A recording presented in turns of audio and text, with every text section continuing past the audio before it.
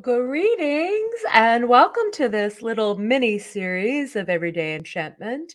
I'm your host, Stacey Andon, and this is all about navigating the holidays with beautiful, imperfect ease and simplicity. Because uh, about six weeks ago, maybe eight weeks ago, I asked many of you for input around what really trips us up in the holiday season. And there were so many common themes that I thought, ooh, let's talk about that. Let's have our own little self care holiday triage kit. You know, maybe we're having a moment and we really need something, or there's also the space to really set it up as we're going into the height of the holiday season right now to do things a little bit differently ahead of time. So, in today's episode, this is all about embracing this perfectly imperfect holiday with greater ease.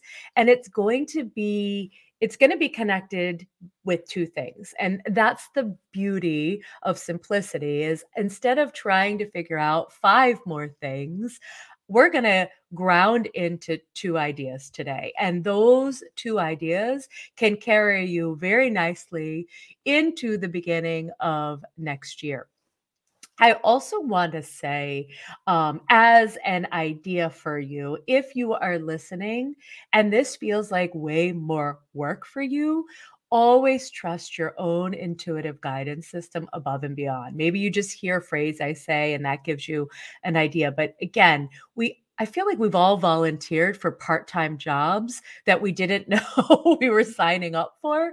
So I absolutely want us to take less or more off our plate, have less to manage, as we are also, most of us in the Northern hemis- Hemisphere, entering into winter, which to me, seasonally speaking, it's asking us to slow down. This is the season of hibernation. And yet, all of us seem, or at least I have seemed, to try to amp it up and override that natural rhythm. So, if you are planning a very perfectly imperfect holiday, which again, nothing's going to go exactly right. That's why all of these beautiful holiday movies, festive memes, you, name it, are all about the things that go wrong and we all get a laugh about it. So, starting with laughter and that, like, just sense that it doesn't need to be perfect. Actually, the times when things kind of go a little sideways, add to a memory, add to all of that. Okay. So, what is the first thing that I think we can easily do for ourselves that's going to help us? It's going to be like the thread that carries us through November into December into January. I want you to think about one word, one feeling that you absolutely want to experience and feel this season. Not 21, and if you're not sure, I want you to think back to a favorite holiday of yours, something where you celebrated and it just had this beautiful flavor and you loved it. Like you can think about experiences and memories of that time. What's underneath that? What's the feeling underneath whatever that experience was? So maybe you want to feel more spaciousness in the holiday, right? It's not crammed. Every second of every moment isn't crammed. Maybe you want to feel more uh at your like in your own you know safe or bold or free in your own skin meaning you're not trying to put on for other people right? I could just be myself. And so there's this sense of like agency and sovereignty and autonomy you know you could choose whatever that would feel like self empowerment what whatever resonates with you around a feeling what is my holiday intention? How do I want to feel as I move through? Because that's going to be a really easy way to play one of my other favorite games that I probably have already talked about, which is the warmer, colder game. Does the next couple of days or does this week actually align me closer to feeling the spaciousness? No, I have 20 things planned. Okay, how do I take three things off? So when you know ahead of time, when you set the intention, it's easy to come back to. It's easy to check in to certain and I know to a certain extent because everybody else is going to bombard you with requests and we're going to talk about that in another one of the episodes. But for today, today's intention, I want you to think about if you could have it exactly the way you want it. Maybe you want it super quiet this year. Maybe you want it super social this year. You want that connection.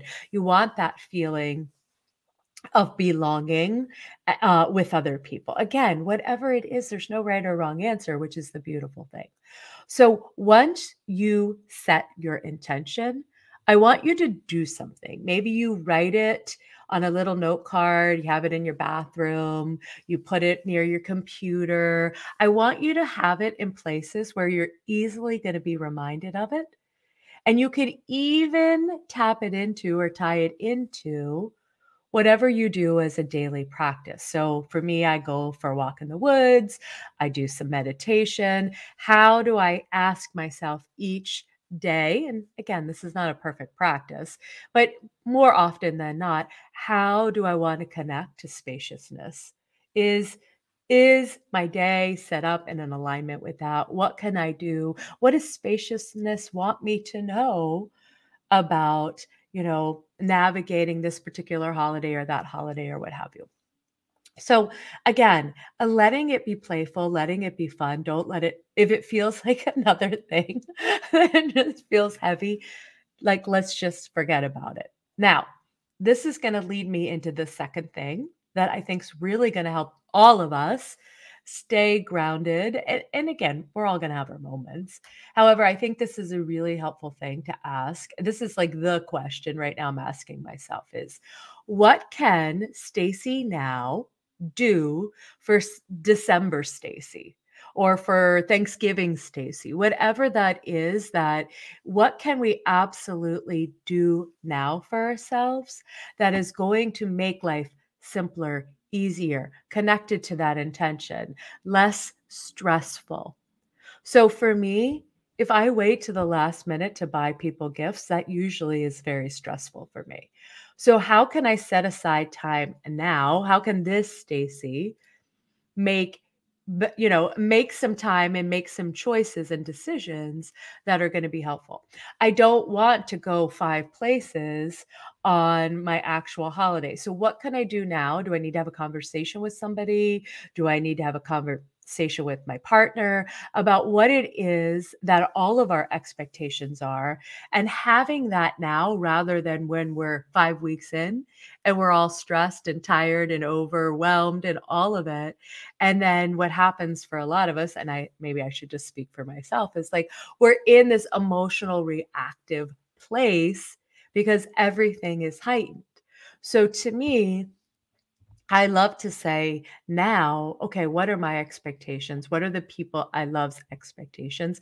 And be willing, again, to know that this is this imperfect circle we're creating. Not everybody's going to feel like they got everything they wanted. So being able to disappoint people, which I'm going to do a whole episode on. How do you manage your own disappointment, other people's disappointments? We are going to talk about that in this mini series because it's such a prevalent thing. I have been walking through this as long as I've been on the planet. So a long time already because it to me you know, we can navigate it I think in other parts of the year maybe a little bit that I don't want to say better, but there isn't as much of this kind of pressure cooker atmosphere that can come and all the routines. Why aren't we doing it exactly the way we've done it for the last 20 years when you're like, you know what? I don't want to do it that way this year. I want to do it a different way. So, what can your now self, so ask that question, do for me today, this week, next week? What are the things that are going to absolutely make it easier for me to walk through the hardest moments that might present themselves this holiday season? So, if you know dealing with other people, gift giving, you name it, and these are all topics that are going to come in future episodes. If you know that that is the thing, then what can you do today to help? It's like pre gifting right? It's making it easier. How can I hit the easy button now so that it doesn't, I don't wait for it to kind of boil up on its own. I know we love to do that. We love to just pretend it's all going to work out on its own. I have discovered that I typically need to really be clear now and confident. Again, and confident doesn't mean we're going to make everybody you know, everybody's going to agree with us, but confident that it's okay if other people don't understand.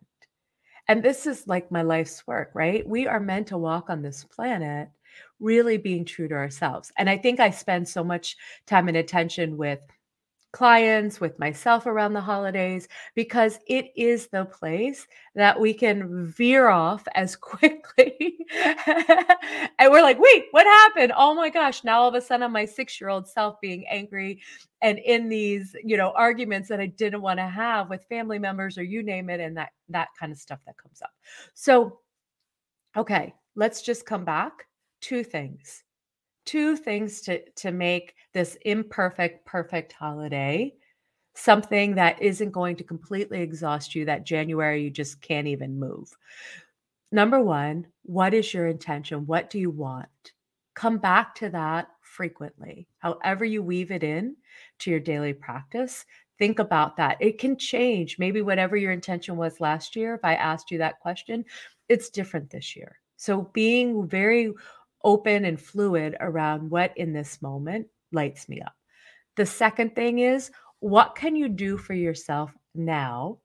What can November Stacey, November fill in the blank your name, do for you? And again, this doesn't mean, hey, I need to do 20 things on my list, but what are some key things? Maybe it's just believing, hey, Stacey, it's okay. It's okay to choose yourself.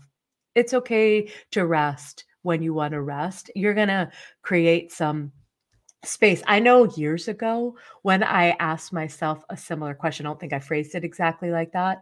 What came forward was I need one day a week that I don't have anything scheduled during the holidays. So I made Sunday this like, no, it was like my sacred day. Now, th- it's not to say I didn't do things, but there was nothing no social obligations, no big long to do list. I could sleep in, I could have a nice breakfast, I could do whatever I wanted to do, go for a walk, maybe if I felt like wrapping gifts or doing some shopping, but it was nothing on there. And I really stayed so true to that that I basically adopted that as as a general guideline all the time. Now, Sundays for me are completely unscheduled on purpose because, again, I like that spaciousness. That's an intention for me. And that helps me feel that even when Friday or Saturday is a little bit busier, Sunday is going to create this beautiful opening for me. And I'm not going to have to do anything if I don't want to. I could stay in my pajamas all day if I wanted to. All right. Let me know what you think about these two things. Come over, join my Everyday Enchantment group if you're not in this private Facebook community, because we're going to talk about this all month, the like, well, six weeks long around intention and what can we do to really help ourselves, even if you're asking the day before. What can I do today to help, you know, Thanksgiving Thursday day to help make it easier and smoother for me?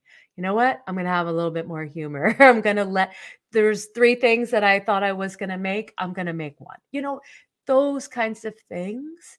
The more we ask ourselves, the more we connect to the truth of ourselves, and the more everyone around us benefits when we are able to give ourselves that gift then eh, we, we come we show up differently and then everybody goes oh you seem so calm and peaceful yes absolutely because i've allowed myself and given myself the things that really are going to help me flourish all right that's it for this episode. Let me know what you think. Pop over to Everyday Enchantment.